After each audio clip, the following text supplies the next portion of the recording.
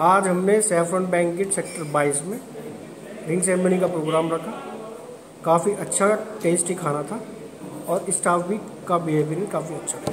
Service बढ़िया थी service. और सब सब ठीक ठाक